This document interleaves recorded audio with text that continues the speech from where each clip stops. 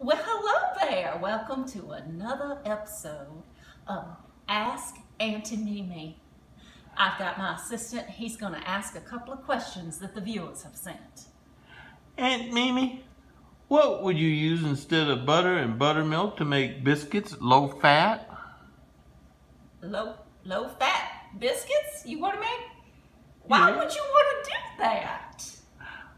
I don't know, Aunt Mimi. I think maybe me. I'll have to think on that one. Why don't you go on the next question? Why should people take your adulting class, Miss Aunt Mimi?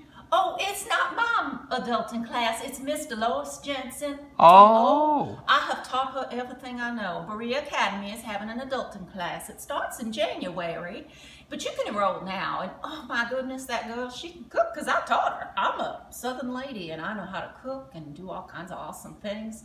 But you know what else? She's going to teach you about cars, about first aid, even about renting an apartment and saving money.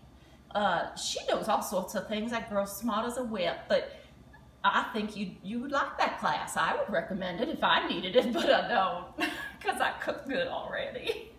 but but she's a good teacher, so I recommend it. I think you should take that class. It'd be a good one. So, well, thank you for coming today, and you just send in more questions, and I'll answer them next time. Bye bye. Gotta get these biscuits made.